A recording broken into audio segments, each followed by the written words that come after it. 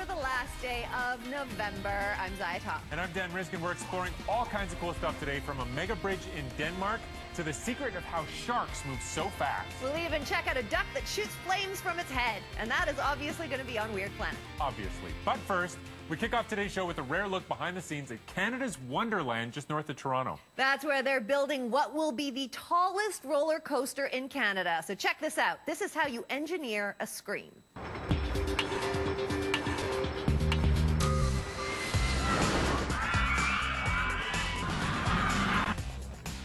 Roller coaster enthusiasts just can't get enough of this. You'd probably never catch me jumping out of a plane with a parachute strapped to my back, but if you wanted me to ride the tallest and fastest roller coaster in the world, I would definitely do that. I've visited more than 30 parks in North America, and I've ridden over 250 different roller coasters. Jeff Smelly likes them so much, he runs a website about them. Recently, he got wind that something was going on at Canada's Wonderland. The uh, enthusiast group in the community that uh, like rides are always on the lookout for clues. And um, the park put up a fence around a, an area, and that day our website traffic tripled.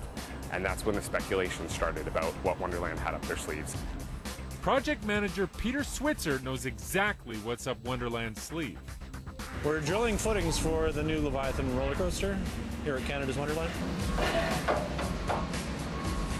We've got a 306 foot high Leviathan roller coaster, steel coaster, the biggest in Canada, one of the biggest roller coasters in the world. My first reaction was really shock. I couldn't believe it. They took the record for tallest and fastest roller coaster in 2008 with Behemoth, and then they had never had that record taken away from them by any other park. They decided to take away their own record and go even taller and even faster again. You start at a height of 306 feet, 80 degree drop. It's virtually straight down. It's not directly straight down, but it's going to be quite a drop. You'll be floating in your seat for sure. A 30 story drop of sheer terror. And almost as terrifying, putting the highest piece on this monster. It's the top of the lift, quite a heavy lift. They're rigging it here behind me as I speak.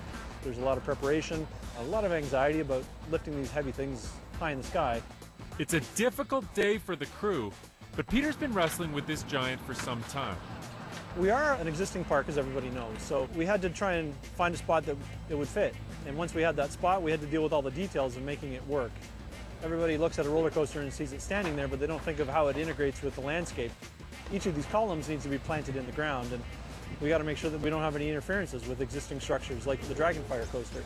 So after a bunch of back and forth with the manufacturer, we were able to provide this. Amazingly, it's the same company that built Behemoth, one of the top design companies in the world. It should be an incredibly smooth, incredibly intense, fantastic ride. The footings are going to support 153 pieces of track. Of all the track pieces, these ones are the trickiest to put in place. Three pieces lead to the peak, and the final piece is an arch. Without it in place, there is no support. Today, these four pieces have to be installed before the cranes can move away. We can't leave any weight on the hook overnight. These are huge track sections. Weighing up to 30 tons, four cranes have been squished into this small area just to lift them up. This is something new to us. The tricky part is we're going uphill, everything is on an angle, and before that piece leaves the ground, we have to make sure that it's set at the right angle so when it's up there, the surfaces make properly. It's like a very large geometric puzzle. These guys have to get the angle just right. We're at 21.2. It's bouncing back and forth a little bit because it's a live load right now on the crane. But 21.2 is the angle that we checked up there on the piece that's already erected, and we want to match this so the two surfaces come together perfectly. If it's not on the right angle, the men in the air will be fighting with the piece a lot harder than they need to, and you can see the track connections. If it's not at the right angle, when those two come together, it'll wreck the connection. And a bad connection means high maintenance on the wheels, I'm told, and it costs the park a lot of money. The sooner the day is done, the better. It's cold, and the wind is starting to pick up. Up there, if you're not uh, holding on, it'll blow you over. So it's like being on a ship out on the sea. It's a heavy gale.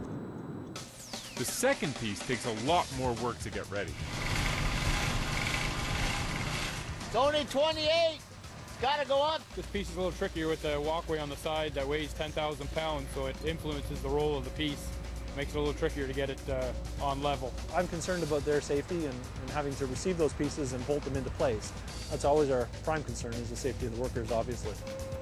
But there's no turning back now. These pieces are so heavy, the cranes have to hold everything in place until it's finished, or the whole thing will sag. It'll drop seven inches, so when you go to put your next piece in, it makes the ride too short and your gap too small and it won't fit.